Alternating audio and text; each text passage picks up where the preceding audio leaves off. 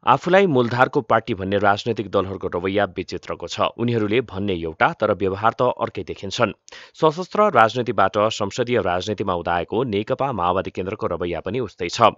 माओवादी केन्द्रका अध्यक्ष पुष्पकमल दाहाल प्रचण्ड आफैले भनेको कुरा बिर्सिदिन्छन्। प्रचण्डले चार दिन अघि मात्रै पार्टीको दोलखा काठमाडौँ सम्पर्क समन्वय समितिले काठमाडौँमा आयोजना गरेको कार्यक्रममा चुनावमा पार्टी एक्लै लड्ने भनी आगामी निर्वाचनको रणनीतिबारे अभिव्यक्ति दिएका थिए।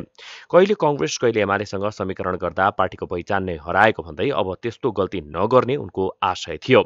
कहिले काङ्ग्रेससँग कहिले एमालेसँग समीकरण गरेर निर्वाचन लड्दा लड्दा कता कता माओवादीकै पहिचान हराउन लागेको हो कि भन्ने आशंका सर्वत्र भएको छ र यो पटक हामी आफ्नै खुट्टामा उभिएर अहिले मात्रै होइन चौरासीको निर्वाचनमा पनि माओवादी एकलाई एक सय पैँसठी सिटमै तिन सय तिस प्रदेशमा र सबै पालिकामा पनि हामी एक्लै चुनाव लडेर फेरि एकचोटि माओवादीलाई आफ्नो पहिचानसहित स्थापित गर्ने हामीले सङ्कल्प लिँदैछौँ। पार्टी कार्यकर्तासँग स्थानीय तहको उपनिर्वाचनदेखि आगामी चौरासी सालको निर्वाचन समेत एक्लै लड्ने अभिव्यक्ति दिएको दुई दिनपछि नै प्रचण्डले अन्य दलहरूसँग सहकार्यलाई अगाडि बढाउन पहल गर्नु भन्दै विशेष परिपत्र जारी गरेका छन्।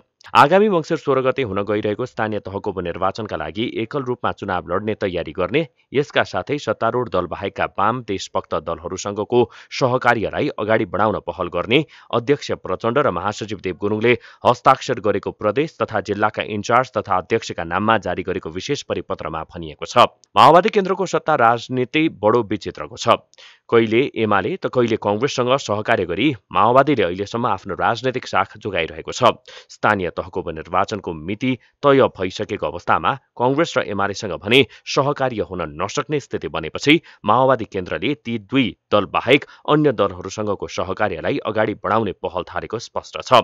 माओवादी केन्द्रीय कार्यालयको निर्देशन अनुसार हरेक स्थानीय तहमा जुनसुकै दलसँग पनि सहकार्यको तयारी गर्नेछ। न्युज ट्वेन्टी फोर टेलिभिजनका लागि ब्युरो रिपोर्ट।